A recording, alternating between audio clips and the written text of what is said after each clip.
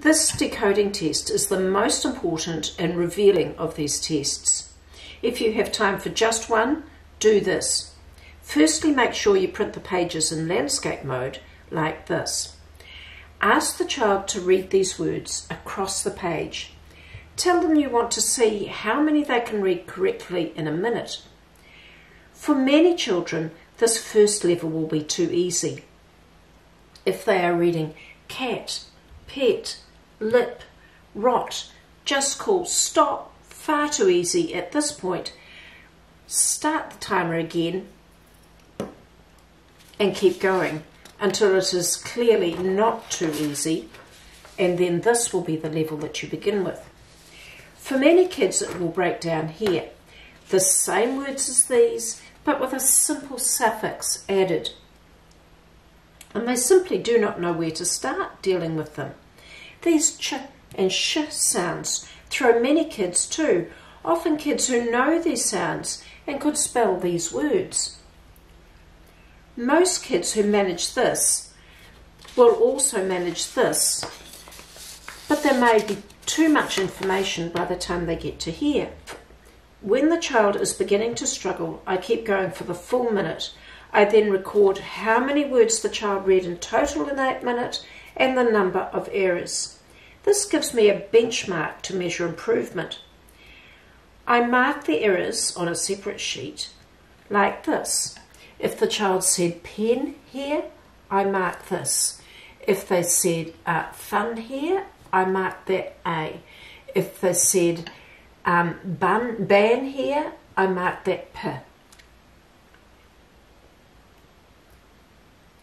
What you are looking here for here is the sort of fluency that allows a child to focus on comprehension and this comes down to three criteria. Firstly, accuracy. Is the child getting most words correct? It may be that the child makes one error multiple times, confuse an A and U, for instance, um, here and here and here. Count that as one. Some children will search for a familiar word that more or less fits. Toot here or huge here. Note that. If there are just one or two errors, note them and move on. Those confusions need addressing, but the child is able to process this amount of information. Then speed. The child may get everything correct, but process far too awkwardly and slowly. If the child is going lip, they cannot read like that. Stop here. They need to start at this level to learn how to process these words more efficiently. There is no fixed number of words the child should be able to read in a minute. Some are just faster processes than others. If you think the child is comfortable doing this task, clearly not hesitating unduly over the words, and processing as efficiently as you would expect for this child, move on. The third criteria is demeanour. This one is not measurable. You will need to rely on your judgment and instinct. You may see the child reading these at a pace and level of accuracy that is okay, much the same as here, but it is taking an inordinate amount of concentration and effort.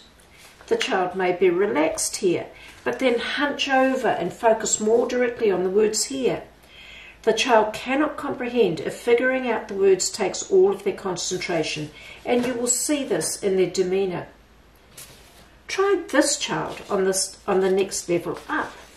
If speed and accuracy are much the same as here, then this level is probably where you should start. But there may be other criteria. If there are a number of kids that come out at level 3, this one, and one that scrapes in at level 4 here, you may want to group them together at level 3.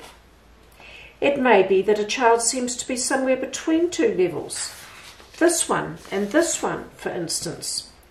If the child is older and has good oral language, it may be better to start them at the higher level But if the child has poor vocabulary and a low self esteem, it is better to start at the lower level. It won't matter. The basic skills are much the same, but with a little more sophistication at each level. Do not be surprised if the child's decoding ability is far below what you would expect given their performance on the spelling test. For struggling kids, this occurs more often than not. Start them where they need to on the apps and where they need to on these kits, even if it seems like a mismatch. It may be that some children do not need the app at all, at least for now, and need to concentrate on their decoding skills.